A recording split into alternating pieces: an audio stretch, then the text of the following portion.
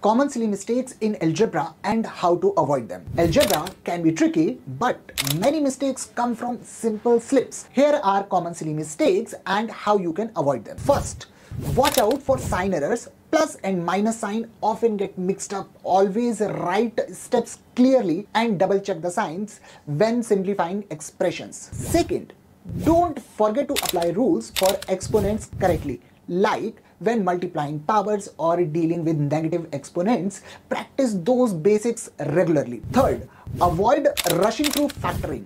Missing a common factor or mixing terms leads to wrong answers. Take your time to factor carefully. Lastly, don't ignore units or constraints in word problems. They matter for the final solution. Fix these small errors and you will see big improvements in your algebra score. Practice patiently, review your mistakes and keep learning. If you find this useful, like, share and subscribe for more practical CAT tips.